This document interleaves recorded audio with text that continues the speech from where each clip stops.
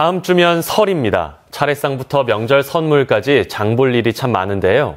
오늘 데스크 인터뷰에서는 설을 맞아 전통시장 활용법에 대해 알아봅니다.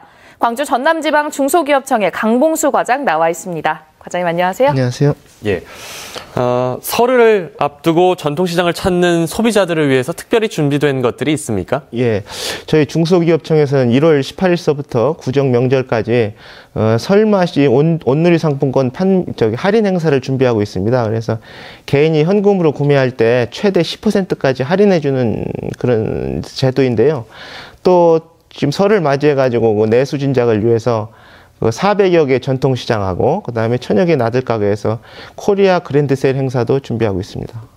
그럼요. 이 방송을 보시는 분들이 찾을 수 있도록 전남 동부 지역 시장별로 눈에 띌 만한 행사나 혹은 챙겨야 할 것들이 있을까요? 예, 전남 동부 지역은 이제 광양의 중마 상서시장하고 여수 서시장에 참여하고 있습니다. 그래서 이제 중마 상서시장은 1, 만 원 만 원 이상 구매 고객에게 어, 최대 100만 원의 경품권을 그, 그 선사해 드리고 있고요. 그 다음에 여수 서시장은 자체 세일 행사를 통해서 어, 고객에게 30% 할인된 금액으로 물건을 구입하게 하고 있습니다. 네, 정부는 앞으로 그 시장별로 이렇게 개별적으로 추진되고 있던 그 마케팅 행사를 통합 일어나 가지고 코리아 그랜드 세일 행사로 이렇게 정례화해서 운영할 예정으로 있습니다. 네. 전통 시장을 살리기 위한 노력들이 계속되고 있는데 전통 시장 상인들의 살림 사이는 썩 나아지는 것 같지 않거든요. 네. 어떻게 진단하고 계시는지 또 대책은 어떻게 보고 계시는지.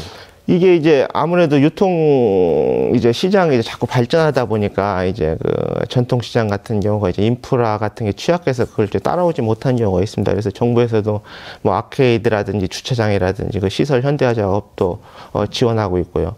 특히 이제 상인분들이 이제 좀 더 고객 친화적인 마인드를 가질 수 있도록 이제 경영 교육이라든지 또뭐 경품 행사 같은 것도 이제 추진하고 있습니다. 또 이제 아무래도 이제 창의적인 아이디어를 가지고 이제 그 전통 시장의 활력을 제고하기 위해서 청년 상인분들도 저희들이 육성해서 이렇게 지원해 드리고 있습니다.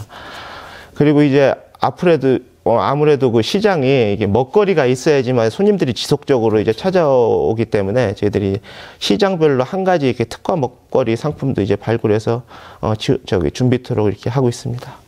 끝으로 전통시장을 꼭 이용해야만 하는 이유 하나만 말씀해 주시죠. 이제 전통 시장에 이제 종사하신 상인 여러분들이 아무래도 이제 어 사회적인 좀 약자분들이 많습니다. 좀 또 그래서 온누리 상품권을 구입해서 개인이나 기업에서 또 이제 뭐 고아원이라든지 양용 같은데 이제 그거를 활용해 가지고 생필품 같은 걸 지원해 주시면 또 일석이조의 효과도 얻을 수 있고요. 특히 또 시장 같은 경우는 지금 그 청과류라든지 과일 같은 거는 채소류 같은 것은 신선도가 훨씬 더 높은 높은 걸로 이렇게 저희들이 파악되고 있습니다. 그리고 이제 어이 신문 같은 데서 보면 이제 뭐 그 전통시장 전통시장의 대형마트에 비해서 이제 물건 가격도 한 20%더 정도 더 저렴한 걸로 나와 있고요. 그래서 설을 맞이하셔서 전통시장에서 어, 장도 보시고 정과 추억을 같이 느끼셨으면 감사하겠습니다. 네, 오늘 말씀 잘 들었습니다. 고맙습니다. 네, 감사합니다. 네, 지금까지 강봉수 광주 전남지방 중소기업청 과장과 이야기 나눠봤습니다.